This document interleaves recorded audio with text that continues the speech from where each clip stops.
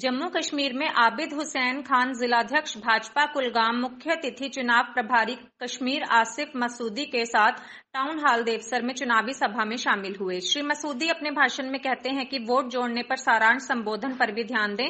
हटाना, नया वोट दर्ज करें और ज़ोर भी दें। चुनाव दल के साथ बैठक के दौरान पन्ना प्रमुख पृष्ठ पर ध्यान केंद्रित करने के लिए श्री मसूदी ने घोषित किया। श्री मुश्ताक आह भट्ट बंगल किसान अध्यक्ष, जिला चुनाव प्रभारी कुलगाम, जिला उपाध्यक्ष बिलाल आह भट्ट चुनाव प्रभारी कुलगाम निर्वाचन क्षेत्र, वरिष्ठ नेता मुक्तिहार आह चुनाव प्रभारी नूराबाद, जिला उपाध्यक्ष कुलगाम फयाज फयाज सांतरे चुनाव प्रभारी देवसर निर्वाचन क्षेत्र में अन्य चुनाव दल के सदस्य मौजूद रहे।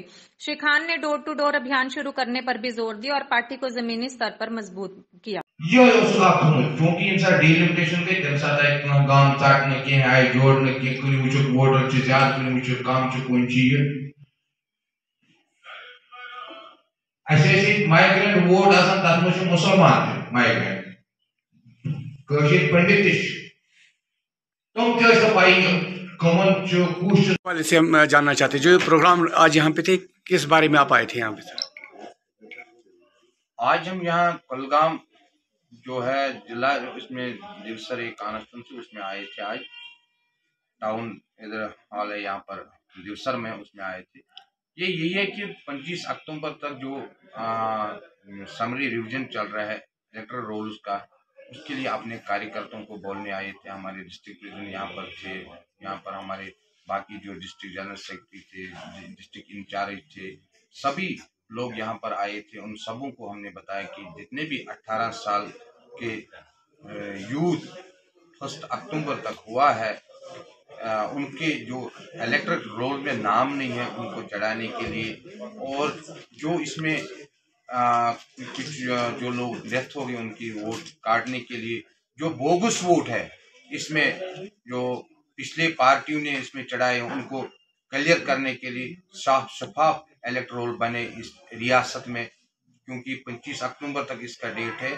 हमारे वर्कर हमारे लीडर हमारे जो कार्यकर्ता, वो मेहनत कर रहे हैं। आज हम उनका वो रिवीजन ले रहे हैं कि कितने वोट चढ़े हैं, कितने वोट कट रहे हैं, कितने वोट कहाँ पर आप पहुँच गए इस सिलसिले में आज हम कुलगाम आए थे, दिवसर दिवसर में।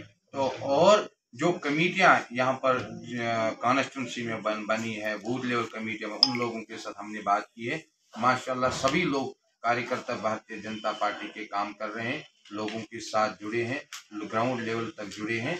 इनशाला इनशाला आने वाले जब भी इलेक्शन के ऐलानात होंगे, भारतीय जनता पार्टी सर यहाँ पे मैं रोकना चाहता हूँ आपको सर अगरचे आप इलेक्शन के बारे में बात कर रहे हैं लेकिन दूसरी तरफ़ से अगर हम देखा जाए जो आपके कार्यकर्ता उनको सिक्योरिटी थ्रेट ज़्यादा है। देखिए भारतीय जनता पार्टी की सिक्योरिटी की थ्रेट हर एक कार्यकर्ता को है चाहे वो नेशनल हो। कांग्रेस हो किसी भी पार्टी का रहा है मगर भारतीय जनता पार्टी को ज़्यादा ही है।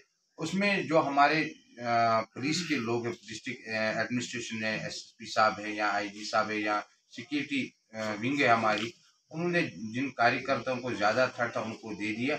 अब सभी को तो पॉसिबल नहीं है। हर एक कार्यकर्ता को सिक्योरिटी मिली।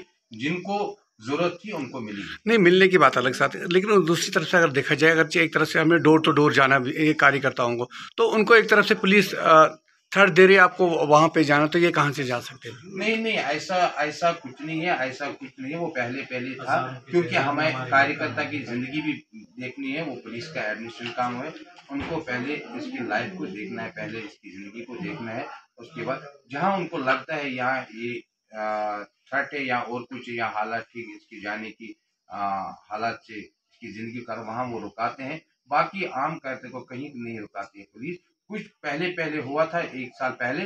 अब इंशाल्लाह हमारे सारे कार्यकर्ता जो है वो इस वक्त डोर टू डोर कैंपेनिंग कर रहे हैं। आने वाले टाइम में हम ये देखना चाहते हैं कि जो कार्यकर्ता है वो खुल के यहाँ पे लोगों से मिले। देखिए हमारे कार्यकर्ता शेर है शेरों की तरह वो निकल रहे हैं। जो जब यहाँ इतने हालात खराब होते रोज बरोज इनकाउंटर होते तब भी हमारे कार्यकर्ताओं ने भारतीय जनता पार्टी के लिए जान भी दी है। इस कलगाम के वर्करों ने हमारी पार्टी के लिए जान कुर्बानियाँ दी है और अपने घर छोड़कर घर बार छोड़कर उन्होंने भारतीय जनता पार्टी का तिरंगा झंडा जो ऊँचा रखा है देश का झंडा ऊँचा रखा है मैं इनको सलाम करता हूँ पार्टी की तरफ़ से अपनी तरफ़ से। क्या मैसेज रहेगी पब्लिक के लिए? पब्लिक के लिए यही मैसेज रहेगी कि जम्मू कश्मीर में भारतीय जनता पार्टी के हाथ मज़बूत करो और भारतीय जनता पार्टी के साथ जुड़ो, नरेंद्र मोदी के साथ जुड़ो, इस रियासत का अगर कोई भी भला कर सकता है, वो खाली नरेंद्र मोदी कर सकता है। जो लोग आपको आज भी धोखा दे रहे हैं, उनके हाथ में कुछ नहीं है। सीधा पावर के साथ जुड़ो, जो हिंदुस्तान में, क्योंकि कश्मीर हिंदुस्तान का ताज है, इस ताज को अगर कोई संभाल कर रख सकता है, वो खाली नरेंद्र मोदी है और कोई नहीं। शुक्रिया।